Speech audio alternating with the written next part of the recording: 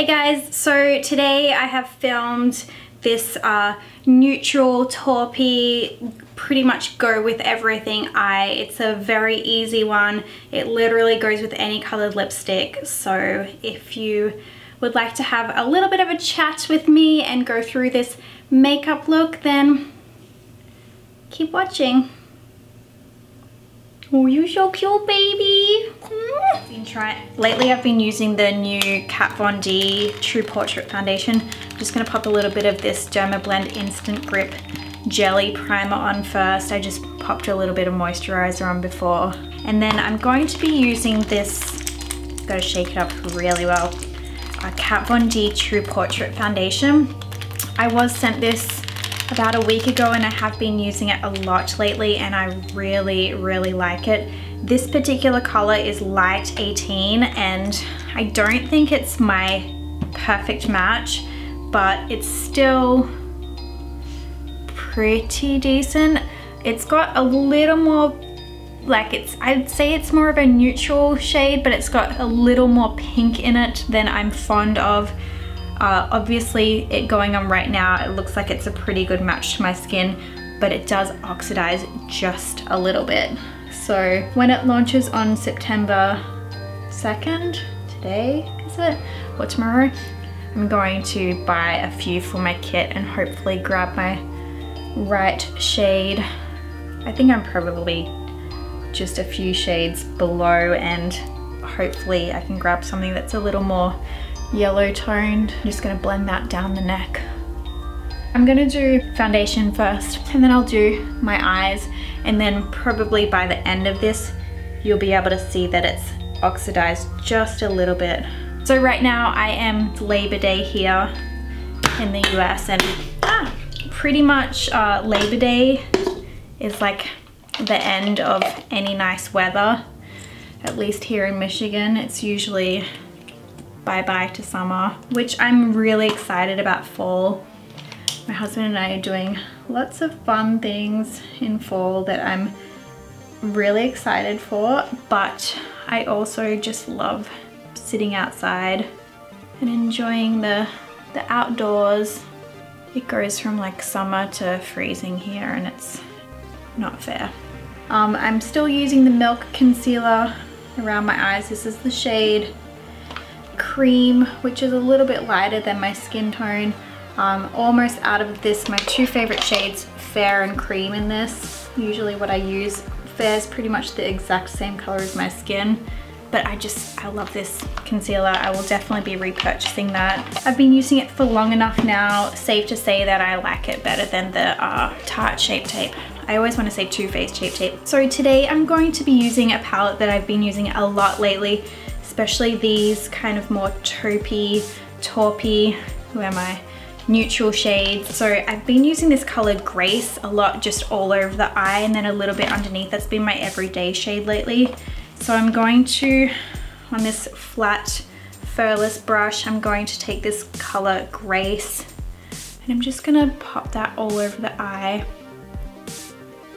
I didn't bother with using a, an under eye primer. I haven't always been bothering with that lately, unless I'm doing something that calls for having my makeup on for a really long time, but I find that with these Cozzette shadows, they just last really well anyways, so you don't have to do a primer underneath and my eyelids haven't been super oily or anything, so my primer is fine for me. So just popping, patting that Grace shadow just all over the eyeball. And then I'm going to take this Sigma tapered blending brush with the same color, Grace, and I'm just gonna use that to blend through the crease of the eye. So as I was saying when I first started filming this video the first time, uh, today is Labor Day and I have the day off and I just really felt like doing some makeup today and then I went and sat outside with the puppies and I was like, I'm not gonna film. I'm gonna sit in the hammock and read my book. Screw that. And then I came back inside and I was like, no, I feel like, I feel like filming today. And then I came in, sat down, started filming, and then my freaking battery died and I was like, well, it's not meant to be. But here we are. It's a really, really nice day out today. I've already been to the gym and taken the puppies for a walk, done a little bit of grocery shopping, drank way too much coffee. This color Grace, just like that, has been my everyday lately. Just with either one or two brushes, I will just kind of fluff that all over the eyes. I'm gonna get a little more of that color Grace with this, my favorite Cozzette S185 brush.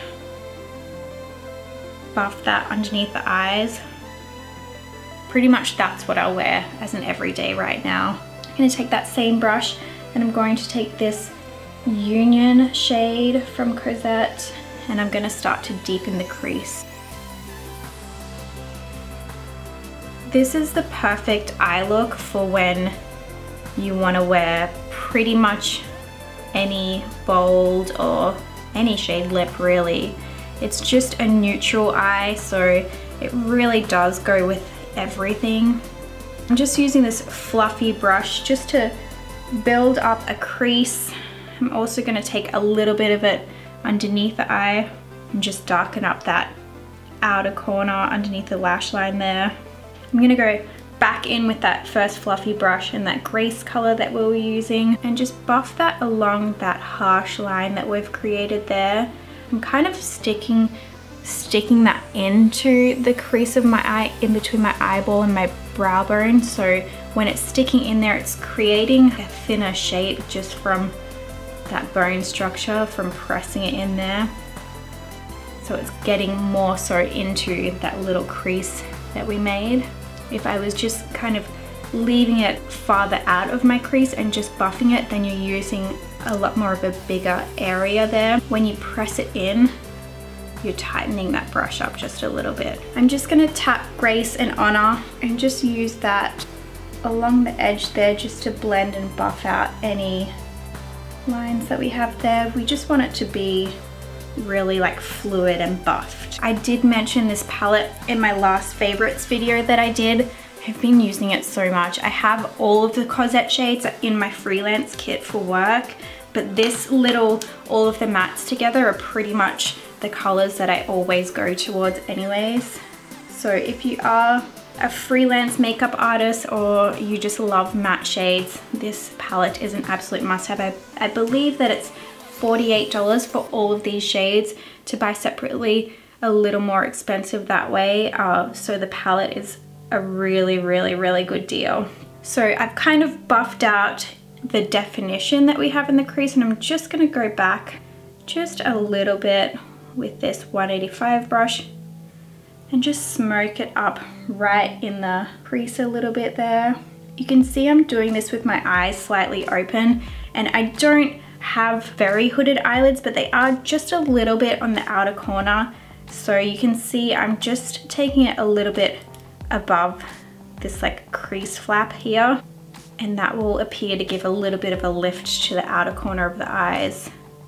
And just kind of like blending on top of that. If I was to do only underneath the crease, it's gonna give a downturned look to the eye. I'm gonna go back in with a little bit of that crease shade and just buff that out as well. So a lot of this look, as you can see, is just kind of layering. So you're putting it on, buffing it in, adding a little more, buffing it back in, and just making sure that it's all nice and blended. I'm gonna go ahead and add this color Dignified just because it's a little bit darker I just want that close to the lash line right here.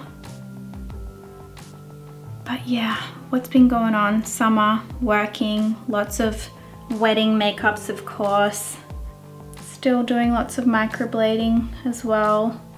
Enjoying a little bit of time away from social media as well. I've been deleting my social media uh, when I have days off. So right now I've just deleted Instagram off my phone and I've been doing that every Saturday night. So I'll have Sunday, Monday, and usually Tuesday just free of Instagram and social media, which has been really nice. Because you don't realize, well, I don't realize how often I just pick it up out of habit, just mindlessly, not even, not even wanting to look at it. I just pick it up and start scrolling and it's just nice to have a detox from social. I'm going to use this nice tight but not too thin angle brush. This is really good for underneath the eyes. This is the Cozzette D250 and I'm going to use that color Dignified just to get up close to the lower lash line right there. Sometimes when you're just using those blending brushes underneath, because they are so soft, they don't really lay color down. So if you want it to be a little more dense in certain areas, just use a nice little flat firm brush. Usually my theory is I'll lay down a darker color and then I'll go back in with a color that's a little bit lighter and a little more, more of a blending brush and just blend the edges of that. This is because I do like more of that soft kind of blown out look. If you prefer it to be nice and crisp underneath the eyes, then you probably wouldn't be on this channel because I literally never do looks like that. But if you do prefer that, then skip the blending brushes and just use something nice and tight. I'm gonna go in with this Linda Hallberg brush. So I've, I've pat down Dignified, I've blown it out, the edges just a little bit with Union and now I feel like I just need to add a little bit of grace, a color that's lighter than Union, just to really buff that out. That looks good for the eyes. I'm not going for anything really super perfect with this. I just want it to just be like hazy and dark and neutral. I'm gonna skip eyeliner. I just can't be bothered with eyeliner all the time and I just want it to be a little bit, like I said, softer and hazy and eyeliner sometimes adds too much of a sharp look to a blown out eye and ain't nobody got time for that. I'm gonna use Hourglass Caution Mascara one of my faves. I do have a video of all of my mascara favorites, cruelty-free and vegan mascaras. My top five. I would add to that definitely the Kat Von D Go Big or Go Home mascara as well. I do really, really like that one. But pretty much all of my favorite top mascaras. Smudge underneath my eyes. One day I'll find one that's good for both, but Right now I just use whatever I feel like on top and then I'll take Urban Decay Troublemaker for the underneath. Ow. Freaking hell, poked myself in the eyeball. If you ever get mascara under your eye like that on yourself or on a client, just let it dry, move on to a, a different area, do something else for a good five minutes and then you can come back to it and flick it off with a clean mascara wand. If you go ahead and try to smudge it off now, it's just gonna mix in with, with your concealer and make underneath your eyes all gray and smudgy. Someone did once comment on a YouTube video that I'm pretty violent with how I put my mascara on. I think that it's just pretty normal, but I guess I could be a little more slow and cautious with it. So Urban Decay Troublemaker for the lower lashes. All right, cheeks, I'm going to use my favorite pale bronzer. This is the Makeup Geek Sun Kissed Bronzer. Absolutely love it. Gonna use that just on the back of the cheekbones right here underneath the cheekbones as just a little bit of a contour. I like it because it's not really red, it's not really orange, it's just a nice bronzy color. Then what should I use on the cheeks? I have lots of favorites right now. I'm gonna use this Milani Luminoso palette. So I haven't used this on my channel yet. I'm going to take just these two colors right here. I'm gonna pop that on the apples of the cheeks and then dust it back into the into the bronzer shade that we just did. It could be a highlighter, but I feel like it's it's passable for the apples of the cheeks as well. But if you are really concerned about having bigger pores or maybe you've got some texture or some pimples on the cheeks, then definitely skip anything that's shiny on the apples of the cheeks. I definitely have really enlarged pores on the front, so sometimes I'm like, no, I don't use shimmery stuff on my cheeks ever, but then sometimes I just don't care because I like how like glossy and dewy it can look sometimes. If you want a matte peachy blush, Ofra Bellini is one that I go to always. And often if I do bronzer and then this on the cheeks, I will pop a little bit of that Luminoso palette just on the tops of the cheekbones as well. I have like a little bit of a, a dark smudgy shadow going on right there. So I'm just gonna take my concealer brush and just buff that away.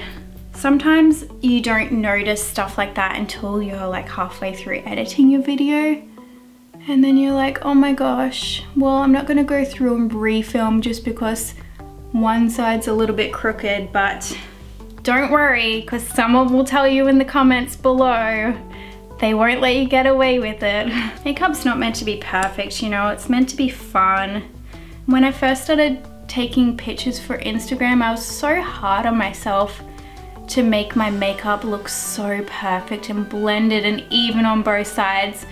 But like when I would go out and just do makeup for myself, I would just do it and do it to, you know, the best of my ability, but also like not stress myself out about, you know, is it perfect on both sides? Is my eyeliner completely even? You know, just have fun with it. Makeup. So I don't know whether you can really see on camera, but my foundation has like settled in, oxidized just a little bit, like a half a shade. Looking at it in the mirror right now, it doesn't look too pinky or too neutral. Sometimes I can look in different lighting later on in the day and be like, oh, it looks like I have pinker foundation on. So I'll definitely be buying another shade of this for my kit and for myself and I'll, I'll, I'll try to figure out what shade is perfect for me so that those of you that follow me because you do have a really similar undertone you can uh, you can know what color that I think is right for myself uh, but otherwise I really like this foundation. Uh, as some of you know, I do microblading and I have to wear a face mask when I'm doing it. So often if I wear more of a medium coverage foundation, it can just get like crappy and like smudgy around the nose because I'm constantly breathing into this mask and it's sitting on top of my nose and my cheeks and rubbing. And every time I've taken my mask off, my makeup still looks just flawless. It definitely is a makeup-y kind of look. I don't think that it's uh, a super duper natural foundation. I'm sure you could probably use it more natural if you're using like Beauty Blender and shearing it down a lot. Uh, the Lock-It foundation, I don't use very often at all on myself because I don't really like a full, full coverage, but the True Portrait Foundation is going to be a good one for my kit because it's a nice medium coverage. What I would say about it though is I did put it on and I, I put it on, you know, more of a fuller, medium to full coverage and I noticed that it was kind of accentuating fine lines um, on my forehead which had never really happened to me before um, and just around here so uh, if you do have drier and mature skin, make sure you're hydrating it really well before this foundation because it is more matte. I think that's the key is just hydrating your skin well before it if you, if you need that. Um, okay, so lips. I have these glasses from Valley and I've wanted to take a photo with these cute glasses. Uh, they're definitely give me more fall vibes and feels. I feel like I look like Jessie Grace Norton right now with my Valley glasses on and my, and my fringe. So I do want to do a lip that's to match this. So I'm to go hunt for a green lip. I'll be right back. So I'm definitely a sucker for a, a khaki, khaki lip, olive green lip. Um, these are a few of the shades that I have. So I have Kat Von D Tank Girl. I'm not sure if you can get that shade anymore uh, Atomic Makeup Cyclone. Definitely can't get that anymore. I love that shade. And then I also have this Ever liquid lipstick, which is a nice, it's a little bit darker. Let's do some lip swatches. I think that, yeah, Tank Girl is gonna be perfect. Where's that Atomic one? Oh, nee. No, I think Tank Girl is going to be perfect. The edge of my fake bangs is looking a little bit frizzled there. If you have some green lipstick at home already. I have this one uh, Necromancy Ophidian and then if you have like a yellowy color as well or even just like a beigey nude, you could definitely make your own as well. I'm gonna go ahead and mix up my own little lipstick using Necromancy Ophidian and Solis Mortem. So just using like a little lip brush and I'm just gonna mix it up on the back of my hand until I feel pretty satisfied. I've been really, really liking, as you guys already know because I use it so often, this lip texture. I um, haven't really worn very much liquid lipsticks lately. I like it because it's like a weird and unique color, but it's also pretty neutral as well. So that matches the glasses perfect. There you go guys. That is a pretty easy neutral semi-smoky eye. You can definitely make it a little darker if you want to. Pop some eyeliner on the inside of your eye, either like a really, really dark brown, almost black eyeliner would look really good. Um, even some dark, dark brown smudged along the lash line. I'm sure that most of you have similar shades to these ones that I used. They're just really nice neutral top shades that you can find. Usually they'll have it scattered in different palettes as well. If not, the Cozzette Beauty one, if you don't already have it, is an incredible palette I recommend to everyone. And yeah, I hope that you guys have enjoyed this little comeback video for me. It's nearly fall. Uh, I will be getting back into the routine of doing videos a little more regularly. I don't know if I'm going to start doing them every two weeks like I used to. Um, maybe, we'll see. I really do enjoy time off. Haha but I do enjoy creating videos for you guys as well.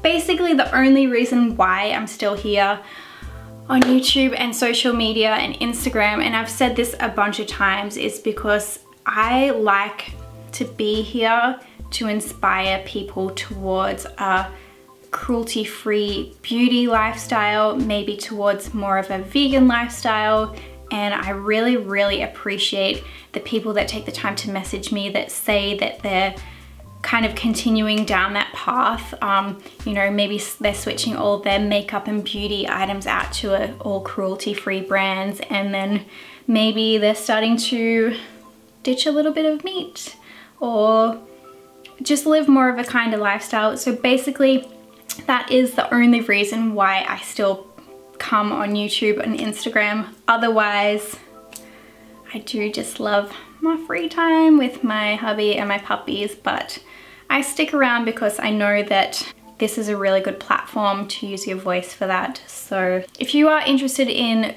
pursuing more of those kinds of products, just check out all of my other favorites videos and tutorials videos from before.